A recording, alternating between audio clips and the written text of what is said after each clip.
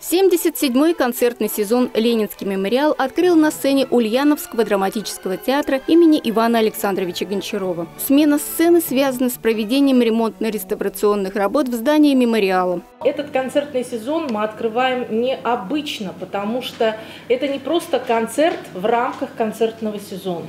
Сегодня фактически э, начинается реализация еще одного интересного проекта Ленинского мемориала, проекта, который называется «Встречи на Соборной». Ульяновский государственный академический симфонический оркестр «Губернаторский» был встречен бурными овациями. Поздравить музыкантов с началом филармонического сезона пришли губернатор Ульяновской области Сергей Морозов и митрополит Симбирский Новоспасский Лонгин. В этот вечер оркестр под управлением главного дирижера и художественного руководителя Ильи Дербилова выступил с программой, подготовленной к 180-летию со дня рождения Петра Ильича Чайковского. На сцене драмтеатра прозвучало знаменитое произведение великого русского композитора «Концерт для скрипки с оркестром». Солировал оркестру на скрипке обладатель первой премии и золотой медали 16-го международного конкурса имени Чайковского Сергей Дагадин. Восемь лет назад я приезжал, плохо помню, что уже играл, столько времени прошло, но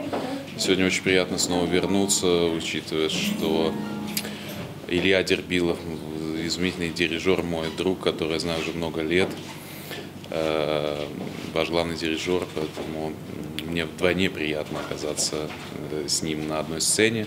Дальнейшие концертные программы до конца года также будут проходить в разных залах. Следите за афишами. Ирина Антонова, Даниил Сурков. Новости Улправда ТВ.